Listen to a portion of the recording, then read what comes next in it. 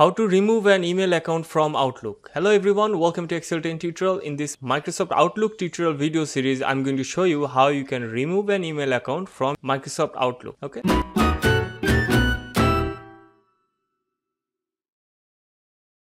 So I have added an email address here. This is my primary and only email address and I'm going to remove this account from here. Okay. So to do that, I'm going to click on file and then click on this drop down account settings and then select here account settings. Here you can see add and remove accounts or change existing connection settings. Now if you have multiple email account added to your Outlook, you will get the total list here and when you have your list, select the account you want to remove and then click here remove. Okay. And click yes. All the data related to this account will be removed. And you can create a backup. I will create another tutorial for that. But in here just click ok. And close this. Close the outlook. Let's open it again.